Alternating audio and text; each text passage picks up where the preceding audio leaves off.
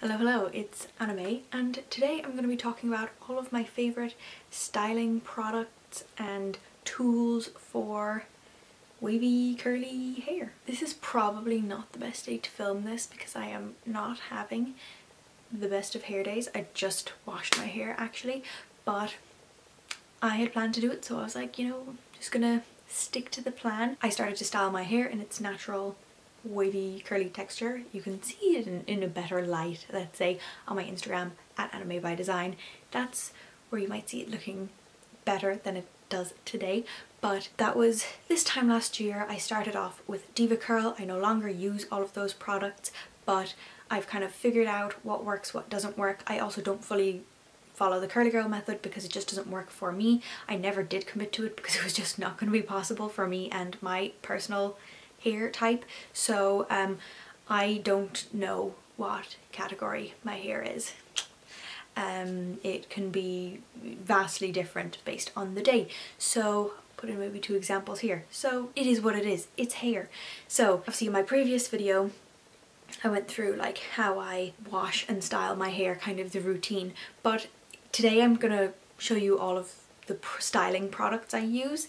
Um, so not so much shampoo and conditioner, kind of post shower product and then stuff because sometimes the stuff is just as helpful as the products themselves when it comes to styling your hair. So enough babbling, let's jump into it. So I'm going to start off with the products, like all the styling products that I use and then go into like tools but I will mention that I, obviously I said I used to use DevaCurl shampoo and conditioner, it was fine. If you aren't aware, so maybe why I'm reluctant to talk about DevaCurl, um, the brand has come under huge scrutiny recently.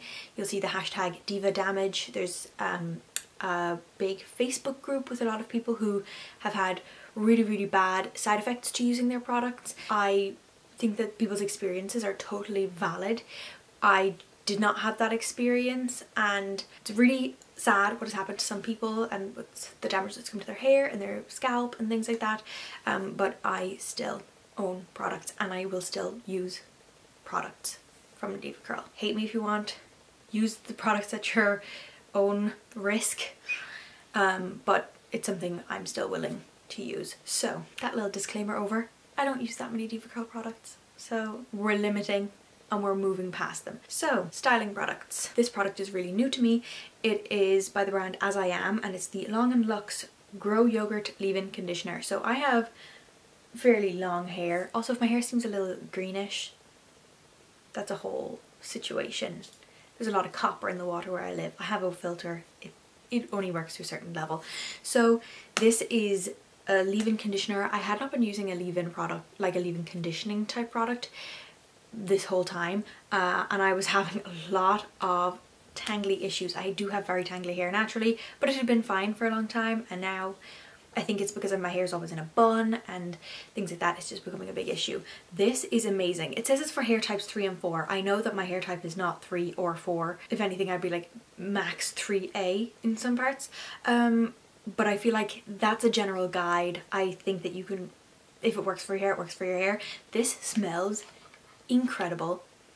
Oh my gosh, what is this smell? Pomegranate and something? Pomegranate and passion fruit. It doesn't leave a scent on your hair, but it is fantastic at detangling. It does take away some of the volume um, and, you know, kind of lessens hold that you might have in your hair, but if you just want your hair to be soft and detangled, this is amazing. And hopefully it actually helps with like growing out hair because I'd like that, but it smells so good and it's not super expensive. So I'll leave a link for that down below.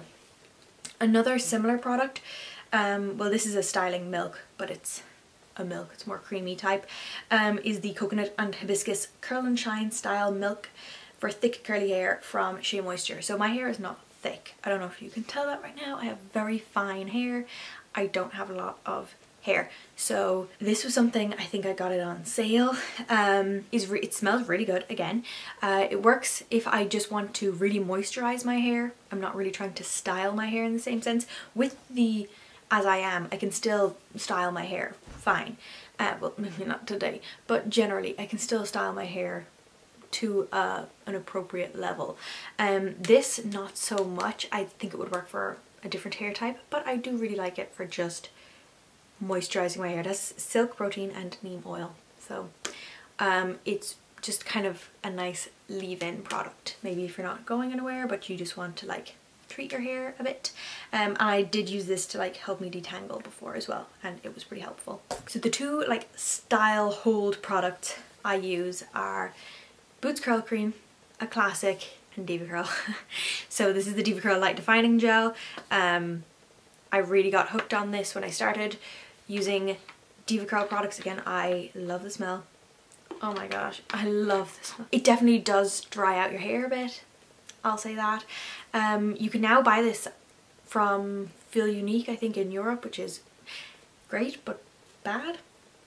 I don't know, the jury's still out, okay? The jury's still out on that. I'm not using any products that are like on my scalp, but I'm still happy to use things on the lengths of my hair and just take precaution. I love the light defining gel. It really works for me. Um, I have a neighbour, she has very curly hair. She loves it too.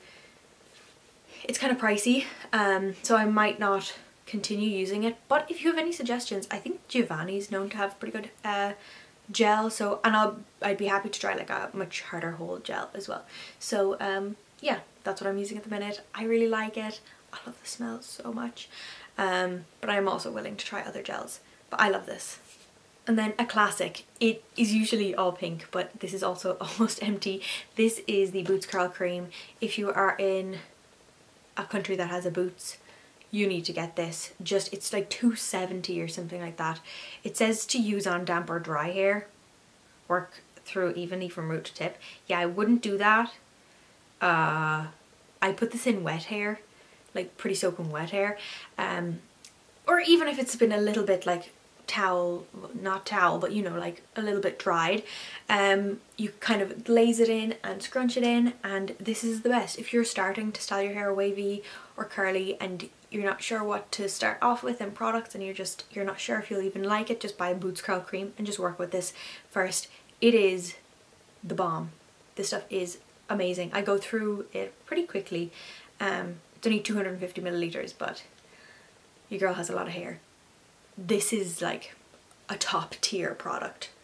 Most people who use this will tell you that. It's the best. So those are I don't have that many. Those are kind of the styling products I use. I'm kind of branching out into things at the minute, um, but I also don't like to have loads and loads of products. I hate having like loads of products in my basket and just stress me out. So now we're going to move on to brushes and well actually we'll go on to like the drying process first. But the opposite of drying, water. This is a spray bottle and you'll see a lot of people with these if you saw that and yeah now I'm all wet but it is a super fine mist this thing is a gem really inexpensive um and I put the filtered water from our shower like with the thing on it so, because my hair is you know the whole green situation.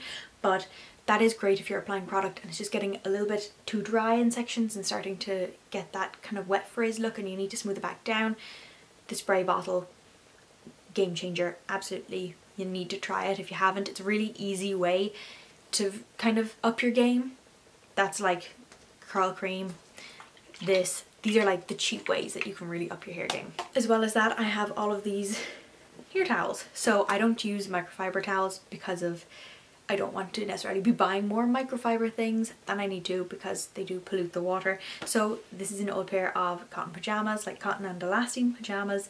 Um, they got really worn out and I honestly tore a hole in them. So the fabric was so soft, I decided to cut them up and use them as hair towels. So that's what I use to dry my hair. You do not put a bath towel near your hair. If you are completely new to this, do not put a bath towel near your hair. Microfiber or t-shirt type things only. Um, but that's one of the big things I like to do is cut up old t-shirts or just have old t-shirts and use that to dry your hair. For brushes, I actually have four things because I'm insane.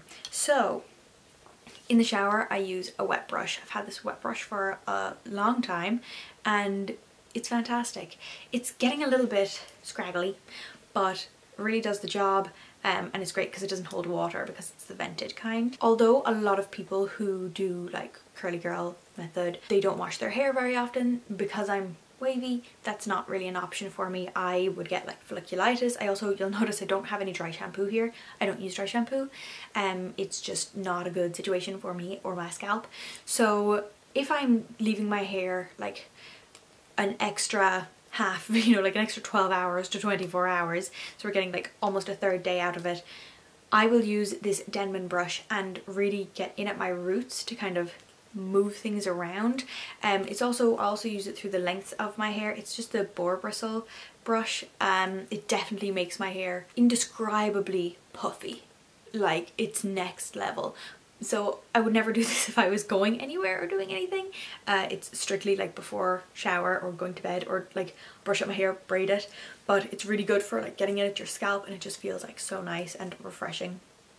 Um, it is very scratchy though so maybe be careful um, but if you have like very oily hair like me it really does help with spreading out the oil. Another Denman product is the classic Denman brush. This has become very popular. Um, I've seen it a lot recently in like curly hair videos is using a Denman brush to style your hair. I am still on the fence about this but it is really good to have a really thorough detangle. Um, it doesn't mesh well with some of my products I've learned today. Uh, it very much causes like a lot of frothiness. If I had it with curl cream and I've combed out my hair with curl cream in it before and it hasn't been an issue but when I think it's because there's so many bristles maybe I should take out some bristles. When I brushed it through it just like got foamy and it was a whole situation. So because my hair was still quite wet at the time. Uh, but a Denman brush is a really good basic brush to have anyways. Um, you could also use this in the shower fully wet if you wanted to because it's like rubberized and everything so it's a good standard one to have. And then lastly a comb from Kent. This is like a detangling comb. Um, notice detangling is a really big part of all of this. This is a newer edition. I'm really liking it. I'll use it when my hair is dry just to like pick sections um, because of this, the comb teeth are kind of strange.